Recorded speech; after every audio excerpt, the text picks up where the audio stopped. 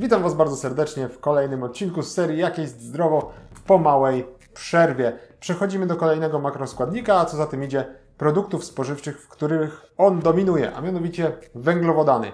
To najpopularniejszy makroskładnik, najczęściej nadużywany przez osoby, które niekoniecznie mają pojęcie na temat zdrowego, prawidłowego odżywiania.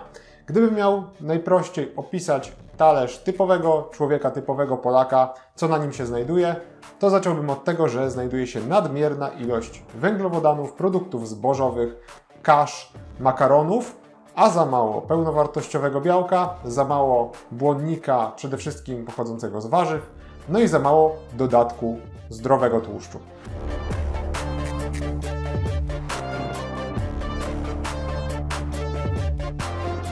Węglowodany mają swoje miejsce w diecie każdego z nas, jednak żeby spełniały swoją rolę, powinniśmy pozyskiwać je z produktów o wysokiej gęstości odżywczej i spożywać w takiej ilości, którą nasz organizm faktycznie potrzebuje. Przejdźmy sobie do konkretów.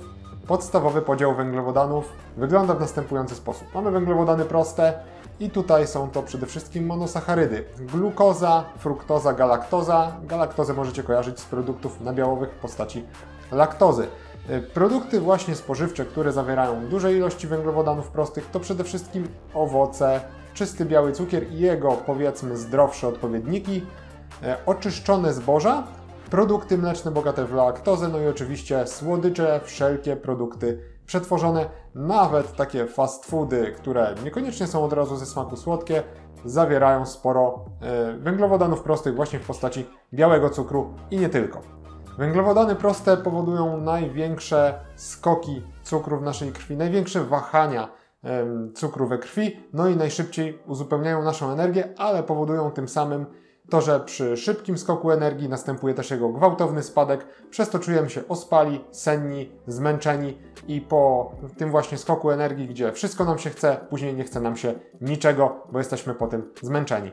Natomiast druga grupa węglowodany złożone to olisacharydy, disacharydy, mm, czyli takie dwucukry, które łączą glukozę na przykład z innym rodzajem cukru prostego, y, polisacharydy, te powiedzmy dla nas najzdrowsze, czyli y, przyswajalna skrobia i nieprzyswajalny błonnik pokarmowy. Y, produkty spożywcze, z których najbardziej możemy kojarzyć węglowodany złożone, mm, to oczywiście zboża, pełnoziarniste produkty, kasze, ryże, mm, warzywa takie jak ziemniaki, ale także strączki e, w postaci soczewicy, e, ciecierzycy, fasoli, bobu itd. Tak I najprościej mówiąc, cukry złożone są przeciwieństwem cukrów prostych, nie powodują takich skoków mm, cukru we krwi, są rozkładane stopniowo, wolniej, dają energię na dłuższy czas. E, czujemy się prawdopodobnie po nich e, lepiej, jeżeli tylko nie mamy e, problemów z insulinoopornością ani innych chorób na tym tle. Szybka ciekawostka, cholesterol endogenny w 80% odpowiada za cholesterol, który możemy wykryć w badaniach krwi. 20% to jest tak naprawdę cholesterol, który spożywamy z żywności, a ten cholesterol endogenny produkowany jest przede wszystkim przez wątrobę, ale także przez jelita i skórę i co istotne, bierze się ze spożywanych przez nas węglowodanów. Węglowodany, a utrzymanie prawidłowej masy ciała. Pierwszy ważny dla nas punkt. Częste spożywanie węglowodanów prostych, które nie są połączone w jednym posiłku z białkiem oraz tłuszczem, a także błonnikiem, powoduje, tak jak wcześniej powiedziałem, częste skoki cukru we krwi, co przekłada się u osób, które na przykład chcą schudnąć albo nie mogą schudnąć, są teraz otyłe, na dodatkowe napady głodu, na podjadanie nakręcanie się takiego koła powoduje, że nie dość, że nie chudniemy, to jeszcze potrafimy tą masę ciała już e, nadmierną utrzymywać albo jeszcze bardziej się e, roztyć w tym czasie.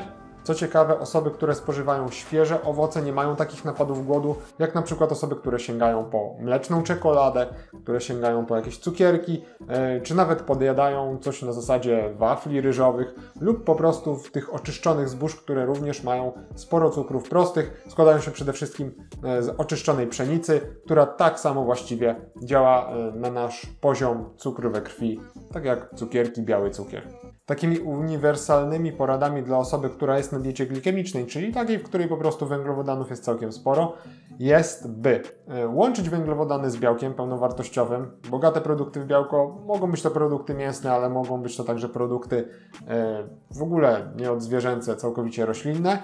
E, co ważne, łączymy również mm, węglowodany z tłuszczem, 10-15 gramów oleju, oliwy z oliwek mm, czy orzechów, w zależności od tego, jak budujemy posiłek. No i przede wszystkim dodajemy jeszcze błonnik, czyli nasz talerz, można powiedzieć, na diecie glikemicznej jest bardzo bogaty w każdy makroskładnik, niczego tam nie brakuje. I to białko, ten tłuszcz, ten błonnik powoduje, że regulacja cukru, poziomu cukru e, we krwi jest znacznie lepsza, nie mamy tych spadków energii, nie podjadamy. No i zwykle chudniemy, jedząc nawet całkiem sporo węglowodanów a używając takiego mądrzejszego języka sprawi to po prostu, że e, będziemy operować na niższym indeksie glikemicznym potrawy i uzyskamy większy indeks sytości, poprzez to właśnie nie będziemy podjadać. Teraz przejdźmy sobie do węglowodanów u osób aktywnych fizycznie, czyli ludzi, którzy moim zdaniem uprawiają jakąś dyscyplinę sportową amatorsko. Mogą być także osoby, które uprawiają zawodowo, prawdopodobnie troszkę z tych informacji coś dla siebie wyłapią, albo już to po prostu wiedzą. Y, dwa, trzy treningi w tygodniu u amatorów, u zawodowców jest ich znacznie, znacznie więcej. No ale w skrócie, co takie osoby powinny wiedzieć? Wyższe spożycie węglowodanów dobowe y, nie stanowi u takich e, ludzi problemu. Jeżeli nie jesteśmy aktywni fizycznie, to wtedy ta ilość węglowodanów e, spożywana w ciągu dnia powinna być mniejsza i o tym, jak mała, powinno być wyliczone zarówno z ogólnego zapotrzebowania kalorycznego, a jeżeli chciałbym to tak w skrócie powiedzieć Wam procentowo, to uważam, że do 40% wszystkich kalorii spożywanych w ciągu dnia, no to jest takie maksimum, jeżeli faktycznie niespecjalnie się ruszamy i prowadzimy taki siedzący tryb życia. E, Oczywiście to łączy się też z tym, że jemy mimo wszystko mniej kalorii w ciągu dnia, więc tych węglowodanów też będzie mniej. W okolicy treningu, czyli przed treningiem, spożywamy wtedy y, węglowodany złożone, a po treningu węglowodany proste i węglowodany złożone również w większej ilości. Możemy sobie to tak ustawić przez cały dzień, że te największe ilości węglowodanów właśnie pojawią się około treningowo. Musimy też e, wiedzieć o tym, że glikogen uzupełniany jest przez węglowodany przede wszystkim w największej ilości, najszybciej i to przekłada się później na performance treningowy i ten performance treningowy dzięki węglowodanom, mm, niezależnie od tego, czy jest to e, trening siłowy, czy wytrzymałościowy, będzie po prostu szybszy, skuteczniejszy, lepszy, efektywniejszy.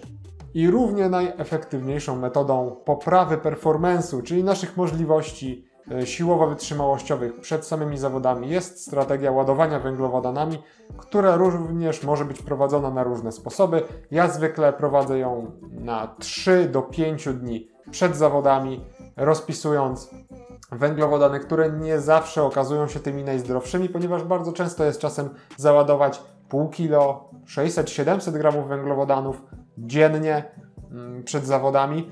E, wtedy faktycznie Inaczej podchodzimy do układania takiego planu, e, pojawia się więcej produktów przetworzonych, taki, mm, z tego powodu, by szybciej to wszystko strawić, móc naładować ten glikogen mięśniowy z zapasem jeszcze bardziej. A jakie są najzdrowsze produkty bogate w węglowodany? Bogate, czyli takie, które zawierają tych węglowodanów naprawdę sporo. W większości jest to od 70% w górę. No i zacznijmy sobie od e, cukrów prostych. I tutaj bezsprzecznie są to świeże owoce, e, owoce sezonowe, takie jak banany, chociaż e, wiadomo, banan nie jest owocem z naszego kraju, ale ciężko znaleźć taki owoc.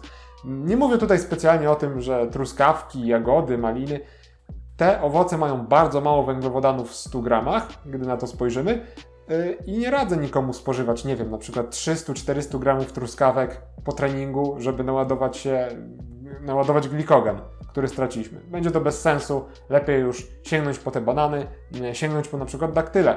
I również mam tu na myśli daktyle dojrzałe, niesuszone, ostatecznie mogą być suszone, aczkolwiek polecam Wam spróbować sobie dojrzałego daktyla, smakuje wybornie. Mm, jeśli chodzi o suszone owoce, również będą w porządku, ale jeśli chodzi o uzupełnianie glikogenu mięśniowego dla osób trenujących, nie bardzo. Dla osób po prostu mniej aktywnych, jak najbardziej suszone owoce, takie jak jagody goi, jak morwa, mogą być suszone śliwki. E, znajdziemy całkiem sporo fajnych suszonych owoców w rozsądnej ilości. Trzeba pamiętać, że mogą być docukrzane białym cukrem e, i po prostu same w sobie tego cukru mają więcej w porcji. Do zdrowych cukrów prostych dodałbym jeszcze co ciekawe rozgotowany ryż, rozgotowany. I dodałbym także makarony, na przykład makarony ryżowe, makarony niekoniecznie pszenne, no bo jeżeli już mówimy o makaronach z pełnego ziarna, no to będzie to tak naprawdę produkt złożony, również można go dodać do tych węglowodanów złożonych, zdrowszych, pod warunkiem, że jesteśmy osobami bardziej aktywnymi fizycznie. Jeśli chodzi o węglowodany złożone, to przede wszystkim zboża superfoods, najbardziej gęste odżywczo, które posiadają także pełnowartościowe białko w swoim składzie, dużo mikroelementów, witamin, które się fajnie wchłaniają. Mam tu na myśli komosę ryżową, mam tu na myśli amarantus, który także nosi nazwę szarłat, jeśli nie pamiętam. E, mam tu także na myśli sorgo, nawet jeżeli gdzieś znajdziecie. Nie jest to może takie typowe superfoods, e, które często jest wymieniane, ale jest jednym z bardziej wartościowych zbóż. Takie bardziej standardowe zboże jak kasza gryczana, kasza jaglana, ryż dziki, czarny, basmati również będą tymi zdrowymi źródłami złożonych węglowodanów. Do tego nasze polskie ziemniaki jak najbardziej. E, ich indeks sytości jest tutaj największy, więc prawdopodobnie spożywając 400-500 gramów ziemniaków na porcję będziecie zapchani na większość czasu. Mm, a poza tym dołączyłbym jeszcze na samym końcu owies, żyto i jęczmień z dobrego źródła, odpowiednio przygotowane, nie w zbyt dużej ilości, bo je, jeżeli ktoś ma celiakię, to wiadomo, produkty glutenowe będą od razu odpadać. Jeżeli ktoś jest tutaj w tym przypadku całkowicie zdrowy, to dalej uważam, że produkty mm, takie jak oczyszczone zboża, ogólnie pszenny makaron, pszenica sama w sobie, nie będą najzdrowsze, nie będą tymi, które ja bym rekomendował na samym początku. To będą takie uzupełniacze, co najwyżej. W tym odcinku powinienem jeszcze poruszyć temat błonnika pokarmowego, który y, zawiera się w węglowodanach, w polisacharydach, w skrobi, tej, której my osobiście nie trawimy, tylko jest, można powiedzieć, bardziej trawiona przez nasze jelita, pomaga nam m.in. w tworzeniu maskałowych, ale ten temat poruszymy sobie w następnym odcinku. Dzisiaj ja Wam bardzo dziękuję, trzymajcie się, do zobaczenia i cześć.